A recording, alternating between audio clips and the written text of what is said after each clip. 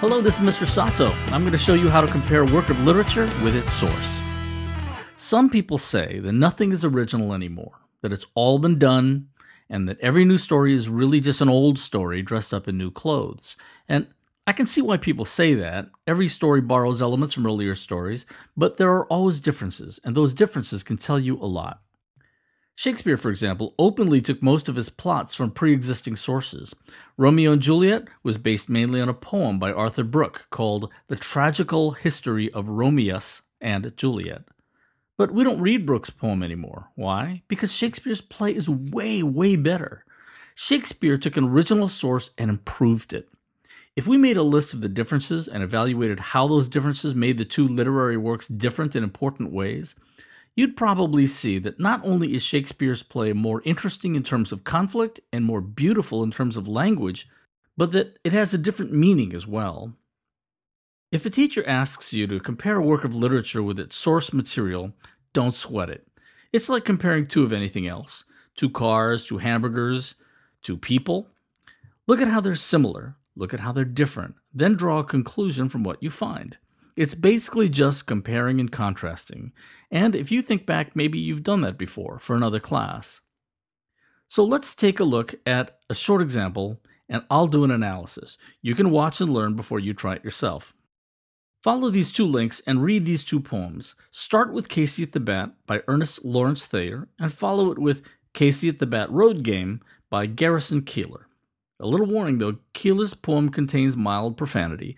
Keillor does have a sanitized version that can be found online as well, but I think this one is better. Okay, read them now. You're back? Did you read them? If not, go back, read them before continuing. You'll be glad you did. Alright, there are similarities for sure. They tell essentially the same story because Keillor's poem is a parody of its source. It's the bottom of the ninth inning, and Mudville is losing to the visiting baseball team. Casey comes up to bat, hoping to save the game for Mudville, but blows it on the third pitch. Both are trying to be funny, both are rhymed narrative poems, and both have the same rhyme scheme and rhythm.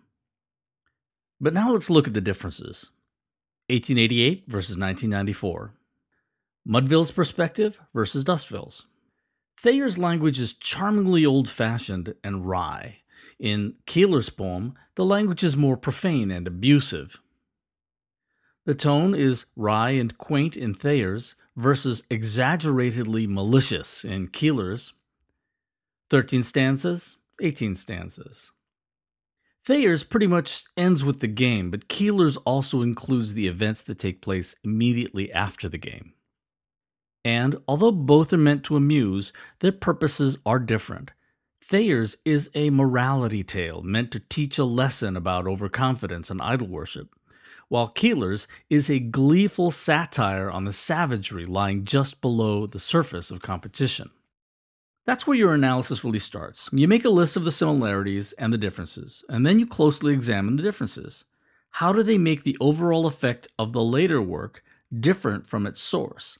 How do the differences show how the author transformed the original into something different?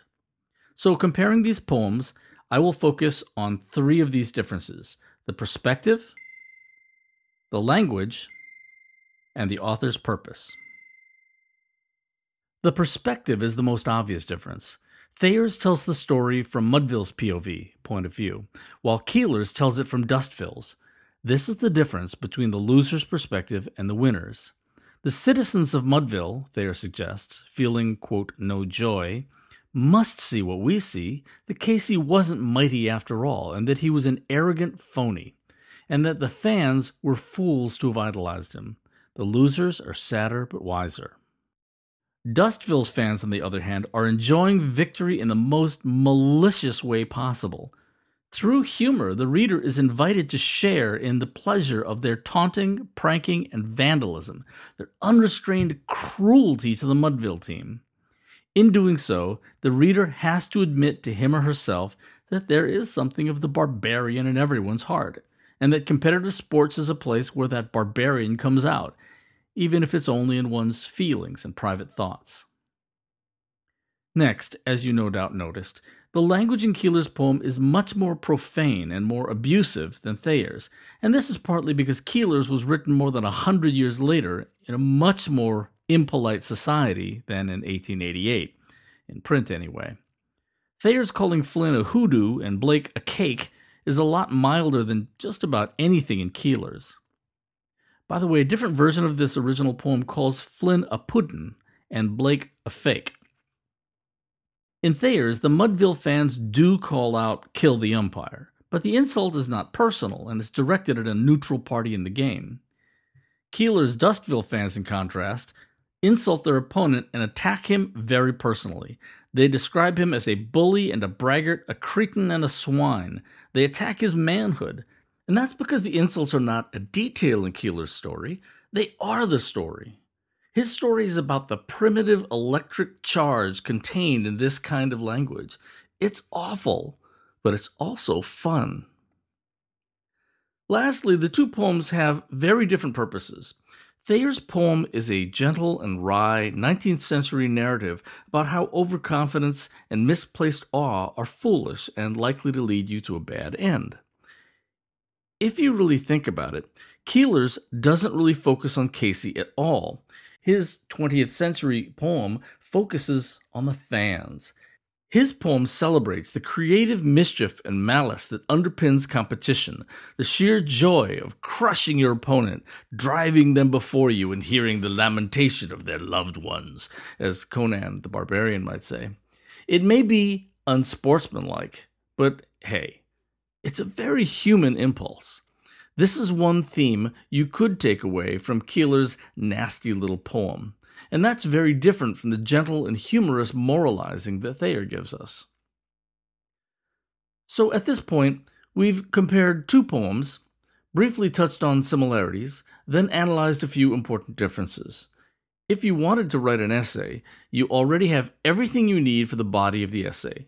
You just need an introduction and a conclusion that talks about how Keillor took Thayer's story and transformed it into something significantly different maybe even better. If you're looking for more examples of literature based on another source work of literature, here's a short list. Just pause it if it's flying by too fast.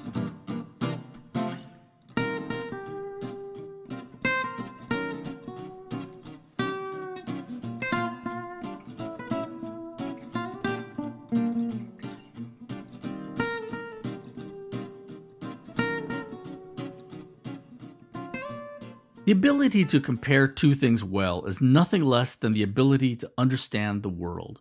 It's critical thinking.